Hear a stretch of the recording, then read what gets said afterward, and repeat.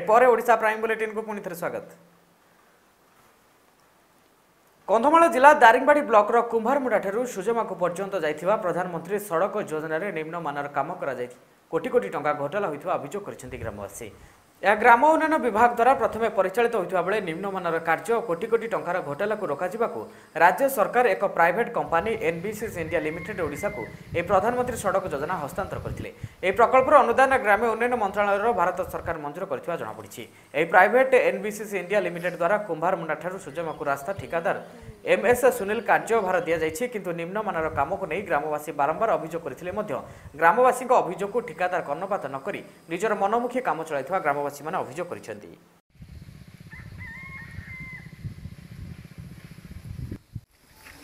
ଆଜ୍ଞା ଆମର ରାସ୍ତା ତ ଏମିତି ହବ କହିଲେ ଆଉ ଏଇଟେ ପିଚୁ ପକେଇଲେ ଏଇଟା କିଛି ଧରି ନାହିଁ।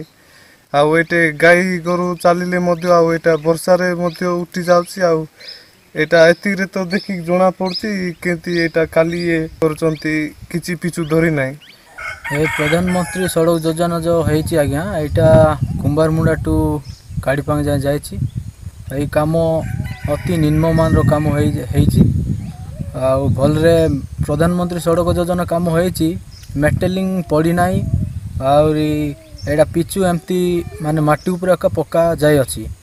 Deputy project manager civil NBCC Baliguda तो ये पैकेज नंबर 244 है हम लोग के अंडर कुमार मंडल टू सुजा माजू। इसमें कुछ गाँव वाले कुछ कंप्लेन कर रहे हैं कि आप लोग सही से काम नहीं कर रहे हैं। मेटलिंग नहीं। कर रहा है उस रोड में। तो एक्चुअली हम लोग का जो प्रोविज़न है आरडी से हम लोगों को मिला है वो मेटल रोड नहीं है ये न्यू टेक्नोलॉजी से सॉइल सीमेंट स्टेबिलाईजेशन रोड है। रास्ता देखिले आपण मैंने पारे प्रधानमंत्री सड़क योजना रे କିଭଳି ଭାବରେ ଦୁର୍ନୀତି ଚାଲିଛି ଯେଉଁଟାକି ଠିକାଦାର ଓ ଜେଇଆଇ ମାନଙ୍କର ଇଙ୍ଗିତରେ ଏସବୁ ଚାଲିଥିବା ଗ୍ରାମବାସୀ ଅଭିଯୋଗ କରୁଛନ୍ତି। କୁମ୍ଭାରମୁଣ୍ଡାରୁ ବନବାସୀ ପ୍ରଧାନ ହେଡଲାଇନ୍ସ ଓଡ଼ିଶା। କନ୍ଧମାଳ ଜିଲ୍ଲା ନୂଆଗାଁ ବ୍ଲକରେ ଏକ ଅଭାବନୀୟ ଘଟଣା ଘଟିଯାଇଛି। ସୂଚନା ଅନୁଯାୟୀ ଏକ ହାଟ ବେପାରୀ ପବନ ସିଂ ବୟସ ଉଣେଇଶ ପିତା କପ୍ତାନ ସିଂଙ୍କୁ ସୁରାପଙ୍ଗା ଗ୍ରାମର ରଞ୍ଜିତ ଦିଗାଳ ହଠାତ୍ ଉତ୍କ୍ଷିପ୍ତ ହୋଇ ହାଟ ବେପାରୀ ପାବନ ସିଂଙ୍କୁ ଏକ ଟାଙ୍ଗିଆରେ ମୁଣ୍ଡ ଓ ବେକକୁ ହାଣି ଆକ୍ରମଣ କରିଥିବା ଜଣାପଡ଼ିଛି। ରକ୍ତ ଜୁଡ଼ୁବୁଡ଼ୁ ଅବସ୍ଥାରେ ପାବନ ସିଂଙ୍କୁ ସ୍ଥାନୀୟ ଲୋକେ ନୂଆଗାଁ ସ୍ୱାସ୍ଥ୍ୟ କେନ୍ଦ୍ରକୁ ନେଇଥିଲେ। ପାବନ ସିଂଙ୍କ ଅବସ୍ଥା ଗୁରୁତର ହେବାରୁ ବାଲିଗୁଡ଼ା ସଦର ମେଡିକାଲକୁ ପଠାଇ ଦିଆଯାଇଥିବା ଡାକ୍ତର କହିଛନ୍ତି। କେଉଁ କାରଣ ପାଇଁ ବ୍ୟବସାୟିକ ମରଣାନ୍ତକ ଆକ୍ରମଣ କରାଗଲା ପୋଲିସ ତଦନ୍ତ ପରେ ଜଣାପଡ଼ିବ ବୋଲି ସ୍ଥାନୀୟ ଥାନା ଅଧିକାରୀ ପ୍ରକାଶ କରିଛନ୍ତି।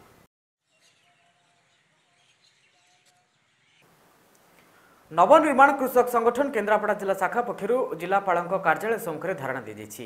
ପ୍ରାଇସ୍ ପେନ୍ସନ୍ ଓ ପ୍ରେଷ୍ଟିଜ୍ ଦାବିରେ ଧାରଣାରେ ବସିଥିବା ସଂଗଠନର ରାଷ୍ଟ୍ରୀୟ ଅଧ୍ୟକ୍ଷ ଅକ୍ଷୟ କୁମାରଙ୍କ ସମର୍ଥନରେ ଶତାଧିକ କୃଷକ ଏହି ଧାରଣାରେ ସାମିଲ ହୋଇଛନ୍ତି। ବାରମ୍ବାର ସରକାରଙ୍କ ନିକଟରେ ଦାବି ଉପସ୍ଥାପନ ହୋଇଥିଲେ ମଧ୍ୟ ସରକାର ନିରବରେ ବସିଛନ୍ତି। କୃଷକମାନଙ୍କୁ ସେମାନଙ୍କର ନ୍ୟାଯ୍ୟ ଅଧିକାର ପ୍ରଦାନରେ ସରକାର ଟାଳଟୁଳ ନୀତି ଅବଲମ୍ବନ କରୁଛନ୍ତି।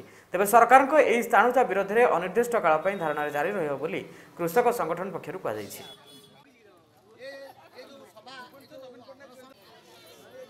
ଆମେ ଗତ ଅକ୍ଟୋବର ଅଣତିରିଶରୁ ନଭେମ୍ବର ପାଞ୍ଚ ତାରିଖ ପର୍ଯ୍ୟନ୍ତ ଯେଉଁ ପଦଯାତ୍ରା କରି ରାଜଧାନୀକି ଯିବାର ଥିଲା ଅକ୍ଷୟ କୁମାର ଆମର ଯିଏ ରାଷ୍ଟ୍ରୀୟ ସଂଯୋଜକ ତାଙ୍କ ନିର୍ଦ୍ଦେଶ କ୍ରମେ ଆମେ ଚାଲିଥିଲୁ। କିନ୍ତୁ ଦେଖାଗଲା ଯେ ଓଡ଼ିଶା ସରକାର ଆମକୁ ଭୁବନେଶ୍ୱରକୁ ପୁରେଇ ଦେଲେ ନାହିଁ ବାଟରେ ଘେରିଲେ ଚାଷୀମାନଙ୍କୁ ହଇରାଣ କଲେ। ତେଣୁ ଏବଂ ଗୋଟାଏ ପ୍ରକାର ଲାଷ୍ଟରେ ଗୋଟେ ପ୍ରତିଶ୍ରୁତି ଦେଲେ ଯେ ଆମେ ଚାଷୀମାନଙ୍କ କଥା ବୁଝିବୁ। ସାଧାରଣ ଗ୍ରୁପୁଜିଏମ୍ କରି ଲେଡ଼ିଜ୍ଙ୍କ ଠାରୁ ଆରମ୍ଭ କରି ବହୁ ସଂଗଠନକୁ ପଇସା ଯୋଗାଉଛନ୍ତି। କିନ୍ତୁ ଆମେ ତିନିଟା କଥା କହୁଛୁ ଯାହାକି ସେ ତାକୁ କର୍ଣ୍ଣପାତ କରୁନାହାନ୍ତି। ସେ ଯେଉଁ ତିନିଟା କଥା ହେଲା ପ୍ରାଇଜ୍ ପ୍ରେଷ୍ଟିଜ୍ ପେନ୍ସନ୍ ଏଇ ପ୍ରାଇସ୍ ପ୍ରେଷ୍ଟିଜ୍ ପେନ୍ସନ୍ ଏ ତିନିଟା ଜିନିଷକୁ କ'ଣ ପାଇଁ ସେ ଭୂକ୍ଷେପ ନ କରି ଆମମାନଙ୍କୁ ଏତେ ହତ ହତ ଉତ୍ସାହ କରୁଛନ୍ତି? ଛଅ ଦଫା ଦାବି ନେଇ ବନ କର୍ମଚାରୀମାନେ କଳା ବ୍ୟାଚ୍ ପିନ୍ଧି ଆନ୍ଦୋଳନ କରିଛନ୍ତି। ଢେଙ୍କାନାଳରେ ହାତୀ ମୃତ୍ୟୁ ଘଟଣାରେ କ୍ରାଇମବ୍ରାଞ୍ଚ ଦୁଇ ଜଣ ବନ କର୍ମଚାରୀଙ୍କୁ ଗିରଫ କରିବା ପ୍ରତିବାଦ ସହ ତାଙ୍କ ଉପରେ ଲାଗିଥିବା ସବୁ କେସ୍ ପ୍ରତ୍ୟାହୃତ ସହ ବନ୍ୟଜନ୍ତୁମାନଙ୍କର ପରିଚାଳନା ପାଇଁ ଏକ ଟିମ୍ କରିବା ବିଟିଓ ସେକ୍ସନ ଗୁଡ଼ିକରେ ପରିସୀମା ଛୋଟ କରି ନଅଶହ ବିଟ୍ ଓ ତିନିଶହ ସେକ୍ସନ ଛୁଟି କରିବା ଆଦି ଛଅ ଦଫା ଦାବିପତ୍ର ମୁଖ୍ୟମନ୍ତ୍ରୀ ମୁଖ୍ୟ ଶାସନ ସଚିବ ସହ ଜଙ୍ଗଲ ମନ୍ତ୍ରୀଙ୍କୁ ପ୍ରଦାନ କରିଛନ୍ତି। ତେବେ ବନ କର୍ମଚାରୀମାନେ ପନ୍ଦର ତାରିଖ ପର୍ଯ୍ୟନ୍ତ କଳା ବ୍ୟାଚ୍ ପିନ୍ଧି ଆନ୍ଦୋଳନ କରିବେ ଯଦି ଦାବି ପୂରଣ ନ ହେବ ତେବେ ସତର ତାରିଖରୁ ସମସ୍ତ କର୍ମଚାରୀ ଛୁଟିରେ ରହିବେ ବୋଲି ଚେତାବନୀ ଦେଇଛନ୍ତି।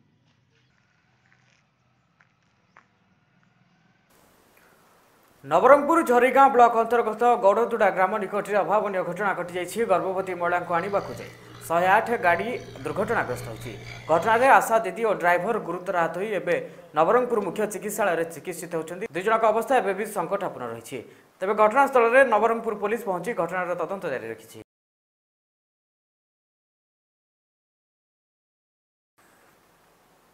ନୂଆପଡ଼ା ଜିଲ୍ଲା ବୋଡେନ୍ ବ୍ଲକ ଲର୍କା ପଞ୍ଚାୟତ କାମପୁରଠାରେ ଘଟିଛି ଏକ ଅଭାବନୀୟ ଘଟଣା।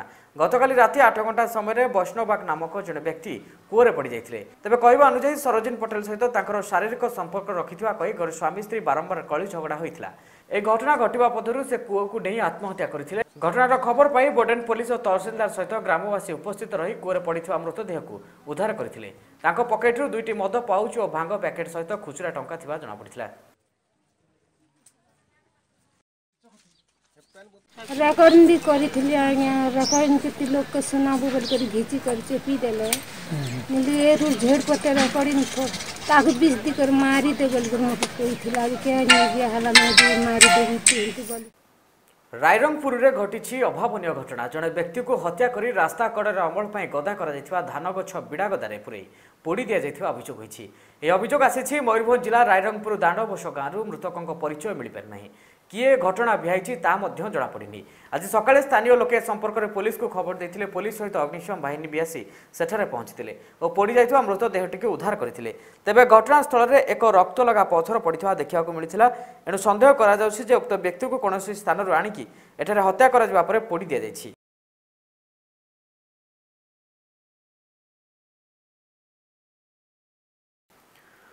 ଆଜି ରାୟଗଡ଼ା ଜିଲ୍ଲା ଭାରତୀୟ ଜନତା ପାର୍ଟି ତରଫରୁ ଯୁବକଙ୍କ ରୋଜଗାର ଦାବି ଓ ଗ୍ରାମାଞ୍ଚଳଠାରୁ ଆରମ୍ଭ କରି ଜିଲ୍ଲାରେ ଚାଲୁଥିବା ଉନ୍ନୟନମୂଳକ କାର୍ଯ୍ୟ ପାଇଁ ପିସି କାରବାର ବିରୋଧରେ ନୂତନ ଓଡ଼ିଶା ଗଠନ କରିବା ପାଇଁ ଏକ ହେବା ହକ୍ ନେବା କାର୍ଯ୍ୟକ୍ରମ ସ୍ଥାନୀୟ ଜିଲ୍ଲା ଆର୍ଟିଡିଏ କାର୍ଯ୍ୟାଳୟ ସମ୍ମୁଖରେ ହରତାଳ ପ୍ରଦର୍ଶନ କରିଛନ୍ତି। ଯୁବ ମୋର୍ଚ୍ଚା ପକ୍ଷରୁ କୁହାଯାଇଛି ଯେ ଜିଲ୍ଲାର ଗ୍ରାମାଞ୍ଚଳରେ ଥିବା ବେକାର ଯୁବକଙ୍କ ପାଇଁ ଜିଲ୍ଲା ପ୍ରଶାସନ ଓ ରାଜ୍ୟ ପ୍ରଶାସନ ପକ୍ଷରୁ ଅଣଦେଖା କରାଯାଉଛି ଏବଂ ଗ୍ରାମାଞ୍ଚଳଠାରୁ ଜିଲ୍ଲା ପର୍ଯ୍ୟନ୍ତ ଚାଲୁଥିବା ଉନ୍ନୟନମୂଳକ କାର୍ଯ୍ୟରେ ବିନା ପିସିରେ କାମ ହେଉନଥିବା ସାଧାରଣରେ ଅଭିଯୋଗ ହୋଇଛି। ବିଜେପି କର୍ମୀ ତଥା ଆଦିବାସୀ ମହାସଂଘର ଜିଲ୍ଲା ଆବାହକ ଶ୍ରୀ ବସନ୍ତ ଉଲ୍ଲାକା ସମସ୍ତ ବେକାର ଯୁବକଙ୍କୁ ଉଭୟ ପ୍ରଶାସନକୁ ନିଜ ଆଗାମୀ ଭବିଷ୍ୟତ କ'ଣ ବୋଲି ପ୍ରଶ୍ନ କରିବାକୁ ଆହ୍ୱାନ କରିଛନ୍ତି।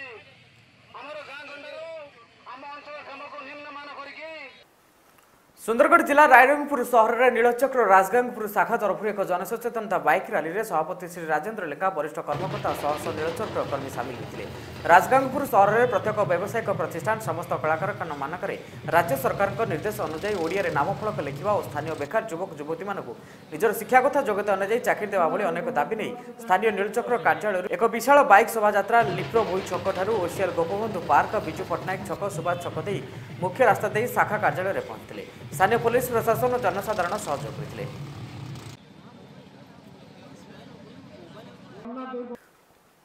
କେନ୍ଦୁଝର ଜିଲ୍ଲା ବାମବାରୀ ଥାନା ଅନ୍ତର୍ଗତ କଜାଙ୍ଗ ରୁଙ୍ଗଟା ଖଣିୟ ଅଫିସର୍ସ କଲୋନୀ ସ୍ଥିତ ଏକ ଘରୁ ସ୍ୱାମୀ ସ୍ତ୍ରୀଙ୍କ ମୃତଦେହ ଉଦ୍ଧାର କରାଯାଇଛି। ମୃତକମାନେ ହେଲେ ସୁଜିତ ହେମ୍ବ୍ରମ ଓ ତାଙ୍କ ସ୍ତ୍ରୀ।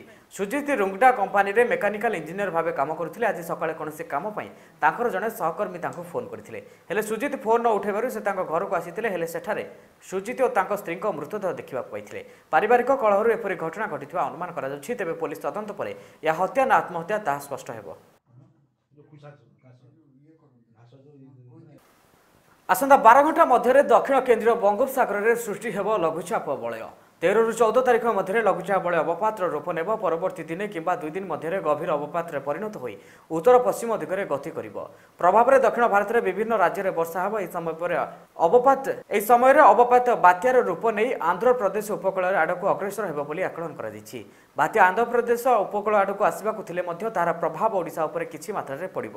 ବାତ୍ୟା କିମ୍ବା ପବନ ହେବା ନେଇ ଏପର୍ଯ୍ୟନ୍ତ ଚିତ୍ର ସ୍ପଷ୍ଟ ହେଉନଥିଲେ ମଧ୍ୟ ବର୍ଷା ହେବାର ସମ୍ଭାବନା ଅଧିକ ରହିଛି। ଦକ୍ଷିଣ ଓଡ଼ିଶାର ବିଭିନ୍ନ ଜିଲ୍ଲାରେ ଷୋହଳ ତାରିଖ ପରେ ପ୍ରବଳ ବର୍ଷା ହେବାର ଆଶଙ୍କା ପ୍ରକାଶ ପାଇଛି।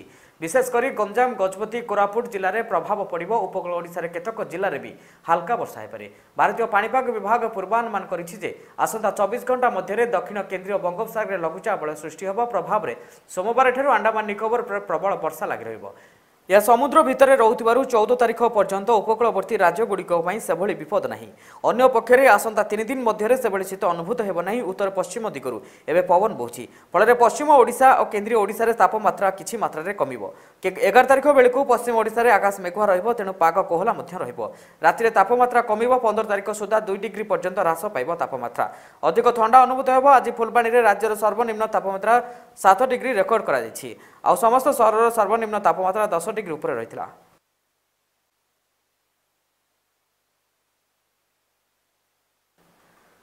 ଓଡ଼ିଶା ପ୍ରାଇମ୍ ବୁଲେଟିନ୍କୁ ଏଇଠି ରଖୁଛୁ। ଅଧିକ ଖବର ପାଇଁ ଲଗ୍ଅନ୍ କରନ୍ତୁ ଆମ website double double double dot headlines Odisha dot କମ୍ରେ ରହୁଛୁ। ନମସ୍କାର।